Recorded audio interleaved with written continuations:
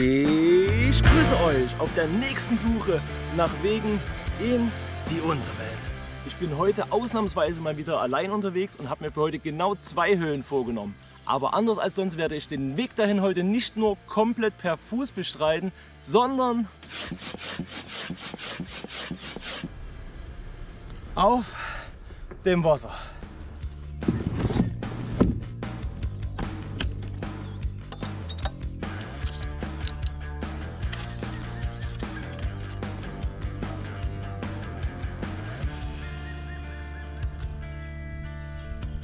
So, das Gefährt ist bereit, um in den See zu stechen. Schauen wir mal, wie weit es uns bringt. So, wenn ich jetzt ins Wasser falle, dann wird es eine nasse Höhentour.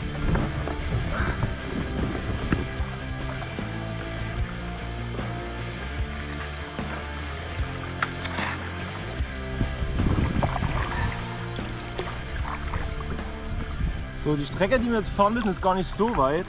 Ich glaube, wir müssen nur einen Kilometer oder eineinhalb ungefähr paddeln. Aber so kommt auch mal ein bisschen Abwechslung in die Wandertouren. Und bei der Sonne gibt es doch nichts Schöneres.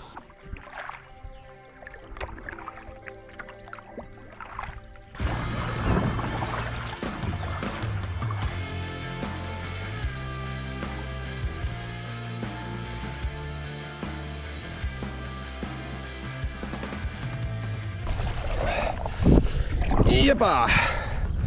Absoluter Gegenwind. Kann man ja schon fast gegen die Strömung fahren hier. Ah, jetzt aber los!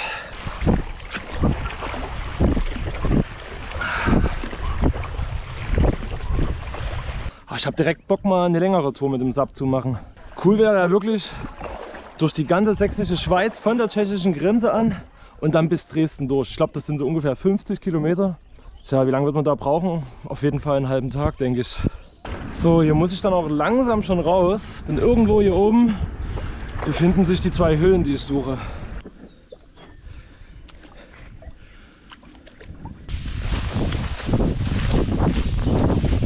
Ich habe mal wieder eine super Glanzleistung verbracht. Ich bin an einem echt bescheidenen Platz ausgestiegen, denn eigentlich muss ich da hoch, aber hier ist überall alles voll mit Brennnesseln. Jetzt suche ich irgendwo einen Weg, wo ich abbiegen kann. Oh, ich habe es geschafft. Ein Weg. Ja.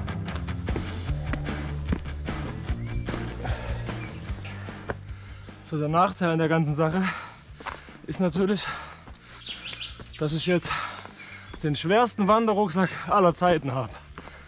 Aber das soll mich nicht daran hindern, auf allen Vieren durch Höhen zu krabbeln.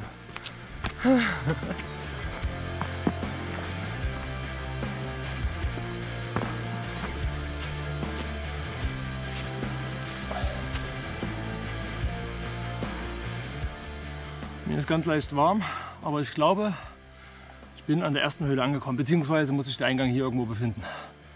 Los geht's. Boah, ich bin gerade nasser als vorhin, als ich auf dem Wasser war.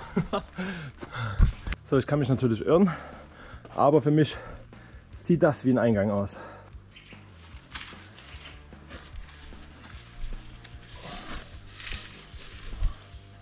Okay, das war es schon mal nicht. Da geht es ungefähr 3-4 Meter rein und dann ist nur ein winziges Loch, in dem ich vielleicht gerade mal meinen Kopf stecken kann.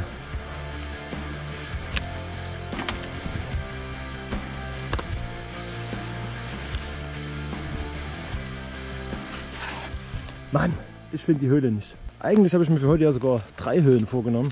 Aber ich weiß schon, warum ich das auf zwei reduziert habe. Weil ich wieder nur am Suchen bin, seit einer halben Stunde. Höhle Piep einmal.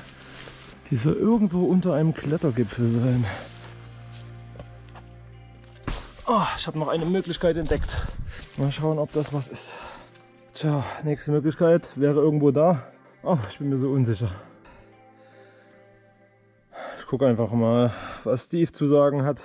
Du musst erst so zwei, drei Meter hochkraxeln, so, so einen kurzen kleinen Felsen und das ist schon wie so ein Eingang dort oben. Also da kannst du dann einfach äh, reingehen. Einfach reingehen, sagt er. Weiß nicht, am Ende war ich dort vorhin doch richtig, aber das war viel zu eng. Das kann gar nicht sein. Um hier hinzukommen, müsste ich halt jetzt so hier so runterklettern und darüber springen. Obwohl, ich sehe da hinten was. Ich sehe da hinten was. Ich weiß nicht, ob man sieht, aber da steht eine Kiste. Also eigentlich sollte hier kein Buch sein, soweit ich weiß, aber irgendwas ist da und das ist eigentlich schon das Zeichen. Ah, ich glaube, ich muss hier nochmal runter. Das kann doch nicht sein. Wir gehen jetzt hier nochmal zusammen rein. Und wenn wir hier nicht durchkommen, dann versuche ich hier hoch zu klettern und dann dahinter zu laufen. Niemals. Ach, so ein Quatsch. Niemals geht hier lang. Aber wahrscheinlich wirklich oben drüber. Oh Mann.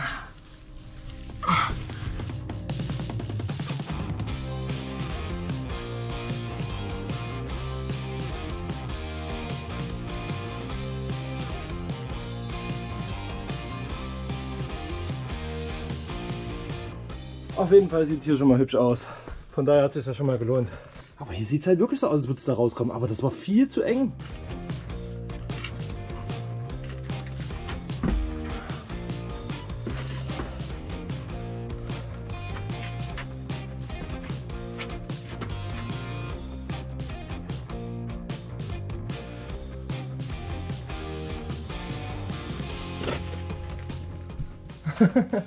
das ist das, was ich gesehen habe. Ein Kochtopf. Jetzt springt eine Ratte raus. Nichts drin. Aber hier ist auf jeden Fall eine große Bowe. Sieht schon sehr schön aus hier. Sehr, sehr hübsch. Bin mir absolut nicht sicher, ob es das jetzt sein soll. Weil eine Höhle war das für mich jetzt nicht. Ah, na gucke doch mal einer an. Das sieht doch schon anders aus. Ja, ziemlich langer und hoher Kamin. Na, schauen wir doch mal rein. Oha. Ja, hallo. Du Schöner. Sieht auch ein bisschen gruselig aus.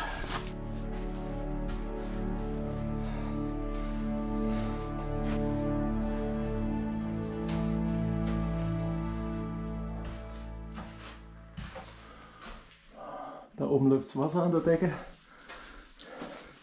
Und hier geht es dann weiter. nee, Quatsch. Aber wahrscheinlich soll es das sein. Ne?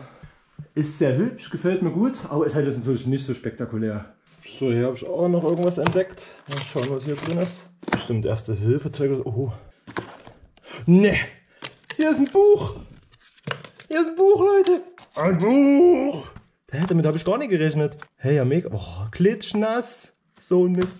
Im letzten Video habe ich ja gesagt, äh, ich nehme mal Ersatzzeug mit, um die Bücher hier und alles aufzufüllen und Tüten. Aber heute äh, bin ich davon ausgegangen, dass heute gar keine Bücher kommen. Ah, mega. 31.12.22 Luise. Prosit Neuer. Na da. Das waren die letzten scheinbar. Das letzte Mal war im Dezember jemand hier. Ja, toller Stift. Ach, ich muss wirklich Ersatzstifte mitbringen. Und Bücher. Und Tüten. So, heute ist der 16. Ja, perfekt. Perfekt. Oh, nee. Kann man doch eine Tüte drum machen oder irgendwas. Der Stift schreibt natürlich auch nicht. Naja, das heißt dann wohl, ich muss nochmal wiederkommen. Gibt's ja wohl nicht. Schweinerei. Mann. So, das war's jetzt hier. Ab in die nächste. Ja, die Höhle selbst ist übrigens als S2 eingestuft, obwohl es nur ein großer Raum ist. Aber ich denke, das Ganze liegt natürlich daran, dass man hier erstmal eine Runde kraxeln muss, um hineinzukommen.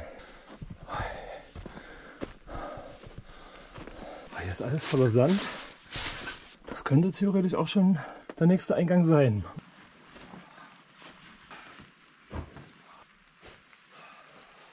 Das Ganze soll wieder eine S2-Höhle sein. Oh, hier wird es am Anfang auch schon direkt eng.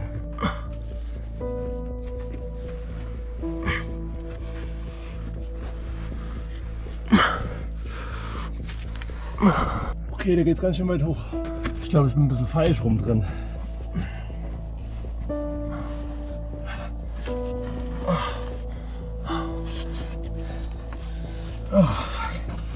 Oh, das ist aber jetzt enger als ich gedacht habe. Aber gut, ist halt auch eine S2. So macht es ja auch mehr Spaß, ne? Hallo, hallo, hallo. Schön, damit habe ich jetzt gar nicht gerechnet. Ach, schön. Das gefällt mir gut. Sehr, sehr hübsch. Sehr, sehr hübsch. So, unter mir geht es knapp vier Meter runter. Jetzt scheint da ein Loch zu sein. Und ich glaube, dann geht es darüber. Ah, oder es geht hier lang.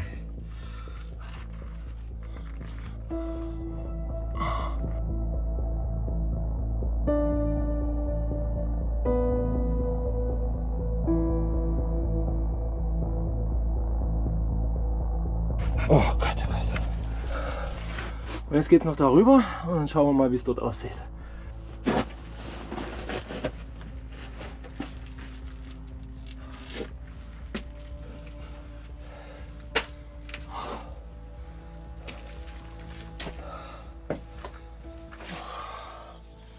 Also diese Höhle ist auf jeden Fall zu Recht als S2 eingestuft. Das war jetzt hier schon relativ knifflig und schwer hochzuklettern. Vor allem da der Spalt hier schon recht eng ist, muss ich sagen.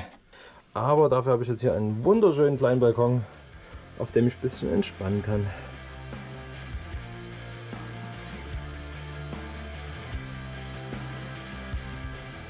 So, das waren heute mal ein paar kleinere Höhen als sonst, aber auch die sind es wert, befahren zu werden.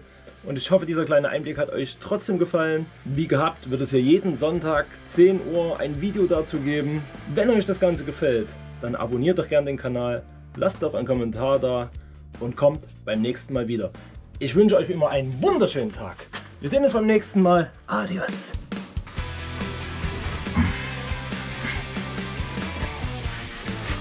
Mm.